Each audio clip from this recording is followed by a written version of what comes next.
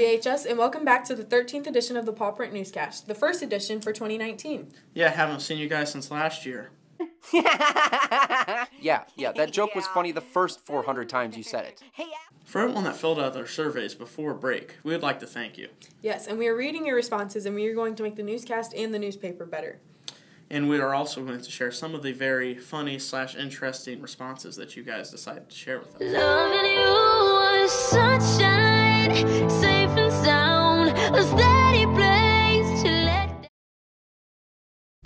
So, before Christmas break, we took a survey to rate the newscast and see how we were doing. And today we will be reading some of these comments, but only the best ones. The question was, what could we do better? And this person answered, better auto. I think they meant audio, but they said auto. The next time I will try to do better auto. Thank you. This question asked, What is your least favorite segment in the newscast? This person answered seven. I'll make sure to take that one out next time. What do you enjoy about n- the newspaper? I never read it, so I don't know. Well, if I'm going to be honest, I don't read it half the time after I finalize it either. So. This question says, "What do you enjoy most about the newscast?" An episode that involves Derek Inskeep's beautiful face. Thank you. This question was, what would you like to see in our new newscasts? And this person responded with Will Sakemiller. I'm pretty sure that definitely wasn't Will Sakemiller. This question asked, What could we do better? And this person said, Be more enthusiastic. I will try my best to be the most enthusiastic person in the newscast. What is your least favorite segment in the newscast? Is the next question, and it says the ones that do not have Derek Inskeep in them. Absolutely right. Nobody. What is your favorite article in the newspaper? Sprots. Mine too. We appreciate your responses. Thank you for those. Now let's go out to some uh, the highly requested. Finish the lyrics. Fly to your hotel tonight. Cause I can't get you off my mind. Can't get you off my mind. Can't get you off my mind. with Olivia, Micaiah, and Daz. Are you guys ready to finish the lyric? Yeah. All right, let's do it.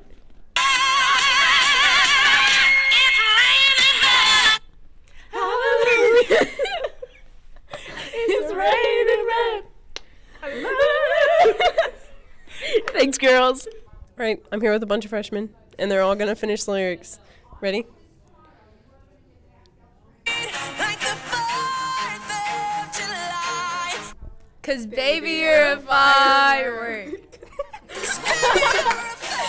I'm here with Darren Weber. Darren, are you ready to finish the lyric? Sure. Let's see how good you are at rapping.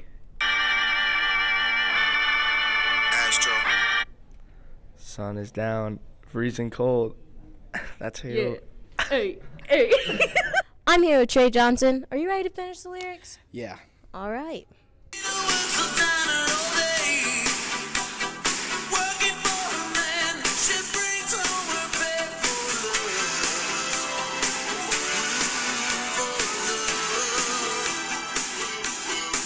She said we gotta hold on to what we've got. It doesn't make a difference if we make it or not.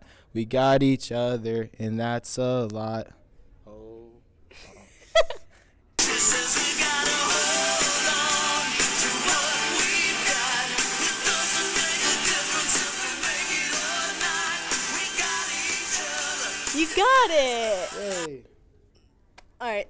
I'm here with our amazing assistant band director, Stefan A. Handhold. Now, Stefan A. Handhold, you don't sing very much, do you? Uh, no, that's why I teach band. Well, today we're gonna see if you can finish the lyrics. How does Uh, that sound? Sounds great. Okay, let's see what we got.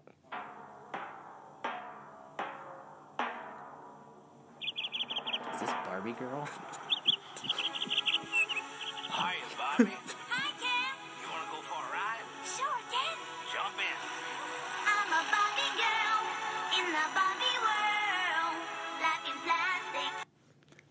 Something fantastic. But it's Barbie girl. Well, I know the song. I just don't remember the words. Thank you very much, Mr. Handhold. You No did problem. a great job. Thanks, but Noah. you didn't sing. Uh, Uh, okay. All right. I'm here with Miss Hazelman, and we're going to play some finished lyrics. Are you ready? Okay. Yes. All right, here's your song. Waiting for it to load. Hey, yo, I'm just like my country. I'm young, scrappy, and hungry,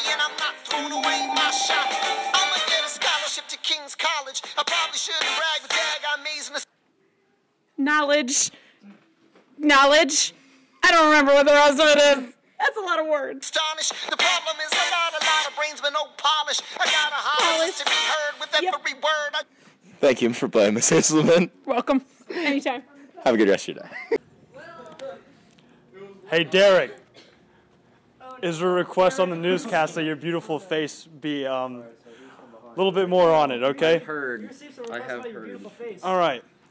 So, Derek, welcome to Finish the Lyrics. It's a pop print game for this session. And don't you know the rules for this? I don't know any songs. Yes, you do. I ran cross country with you, Derek. I got a quite a beautiful song right here. And I'll stop it and let's see if you can finish the lyrics, okay? All right. Hmm. This looks like a good one. What are those? It's a girl.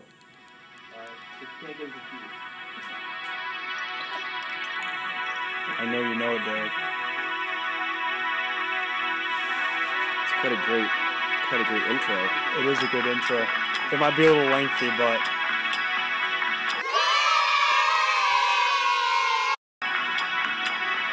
Five hours later.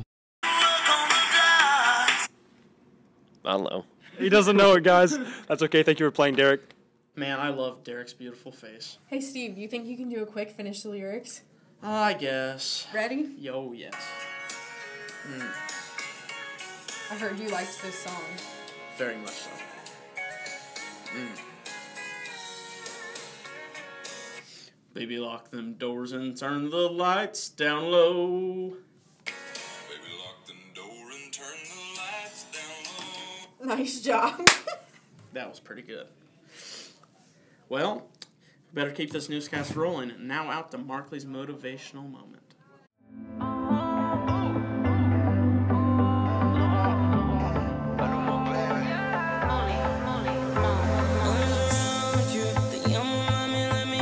Thanks, guys. I'm here with Mr. Markley. What words do you have for us today? This week's motivational moment comes from Tom Landry. First, become a winner in life. Then it is easier to become a winner on the field. Tom Landry. Hashtag winning. You heard it first. All right, now back to the studio.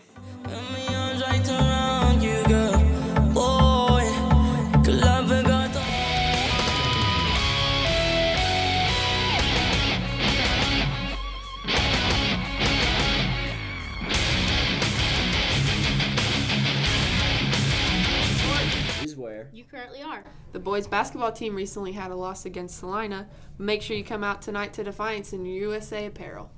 and our game against Spencerville got postponed to sometime in February.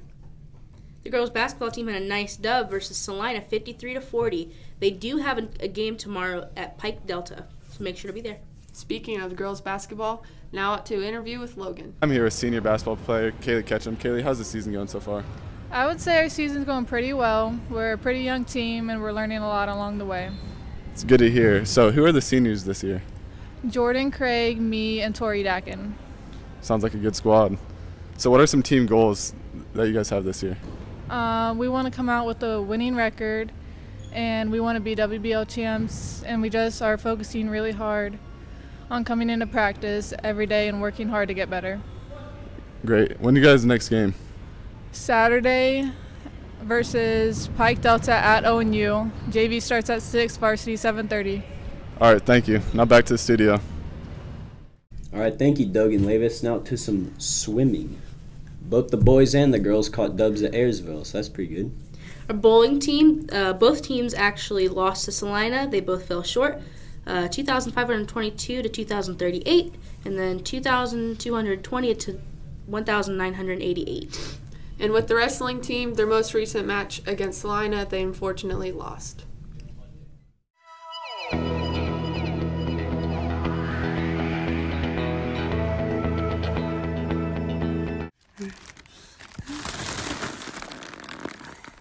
Let me see this.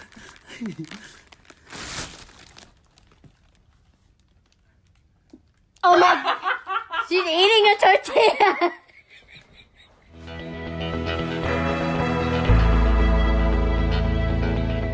So the Wildcat heads are back, and now we have an interview with Mr. Handhold.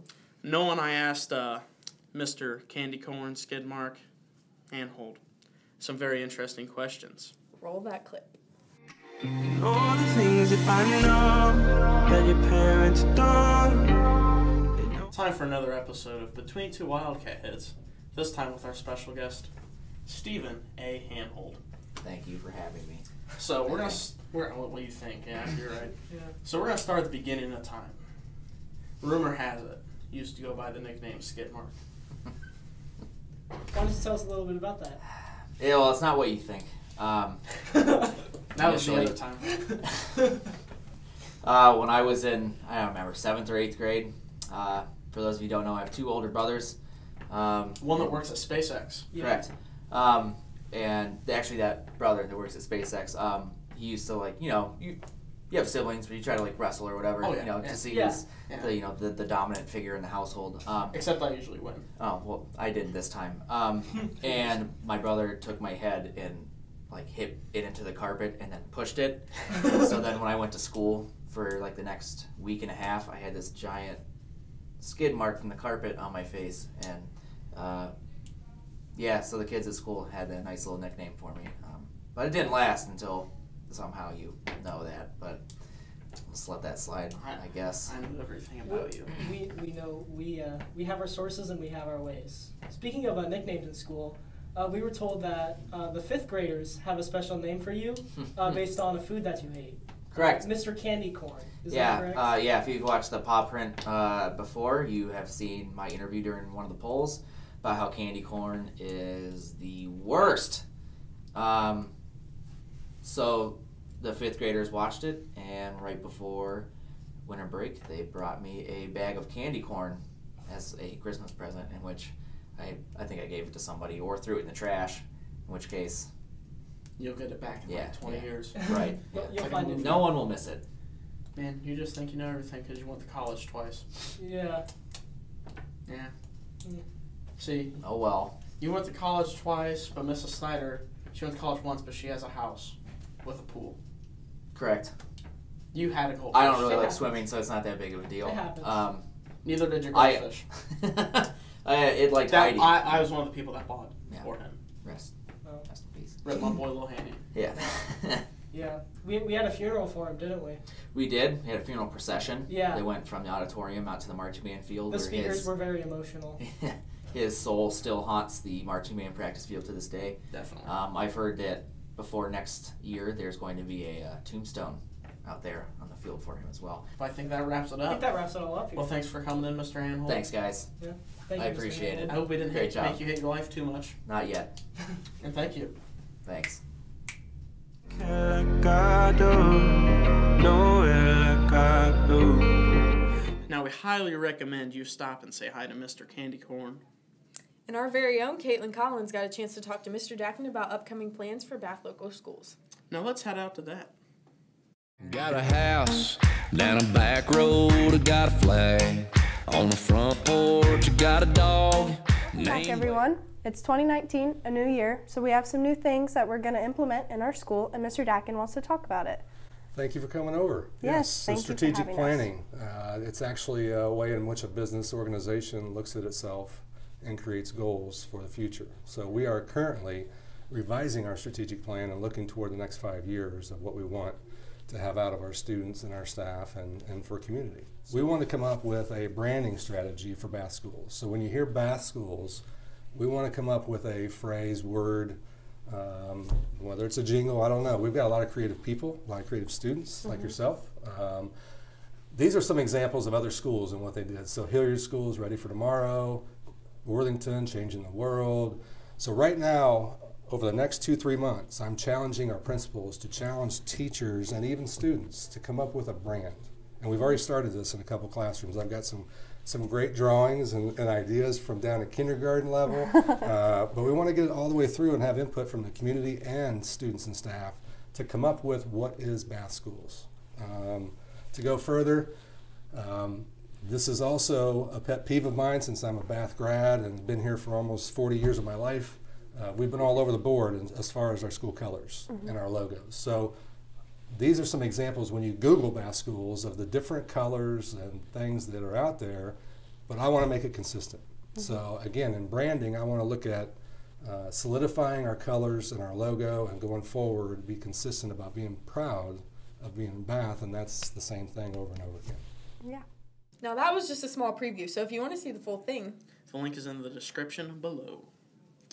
Now you've heard of Wildcat Compassion, right? I have, and we can tell you more about that in the middle school with Josh and Shane.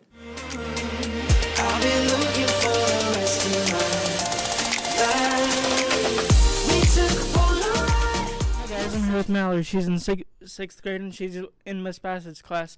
Mallory took matters into her own hands to raise money for SIFA. Can you tell us about that? I basically raised money for Sifa so that she could have lots of money to buy her own food and take care of her parents, like some kids do with her parents too. All right, thank you. I'm here with Jade. She is in sixth grade in Mrs. Bass's class. Jade, we understand that you guys wrote a letter for SIFA. Could you tell us about that?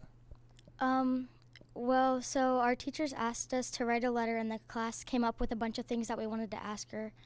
So we took those, some of those off of that paper, and we put them into one letter, asking her questions about her family, and then ans- answering some of the questions in our own words. Well, that's pretty awesome. Also, a huge thank you to all of the sixth grade class for coming up with all the money for SIFA. Hamburg pickle on top makes your heart go flippity flop. Have you had your Kewpee today? We are here about to do the bird box challenge for Try Girls. We're gonna blindfold ourselves. We're gonna start at a top secret location, and Maddie's gonna tell us where we need to go after that.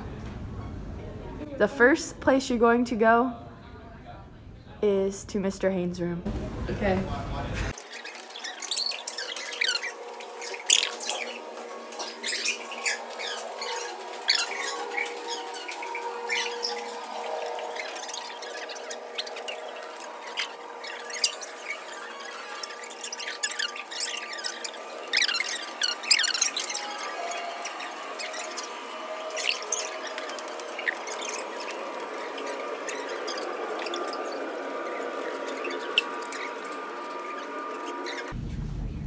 All right, do you guys think you're there? Yeah. Okay, take your blindfolds off. Good job. why am I on my left? Good job. left is right. Good job. You can take your blindfold off. Okay, we finally made it to Mr. Haynes' room. Where Four we and a going? half minutes. Yep. Where we going next? Now you guys are going to go to Miss Fleming's room.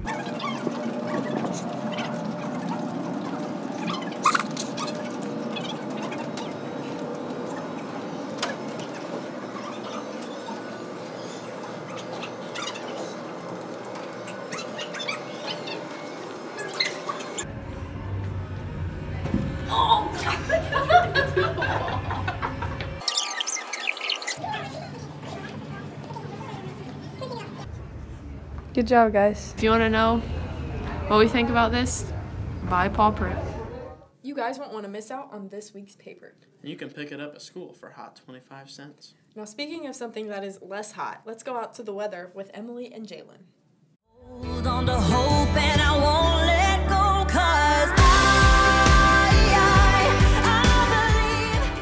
Thanks, guys. We're here with this weather, and Friday it's going to be a high of 31, low of 24. Make it out to that game. Defiance is only going to be partly cloudy. How about Saturday?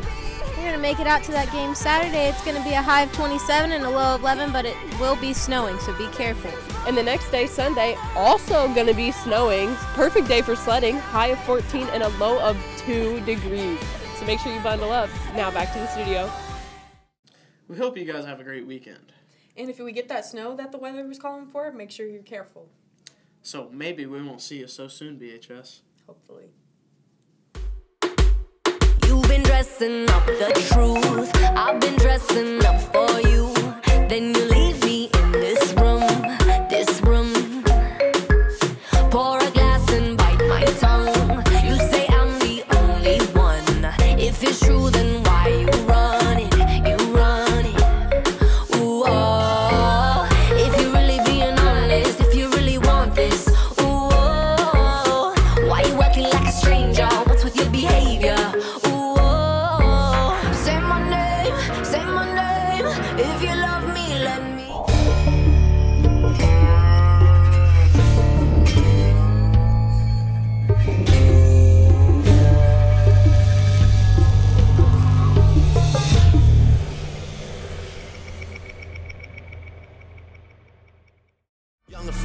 Flame, sicko mode.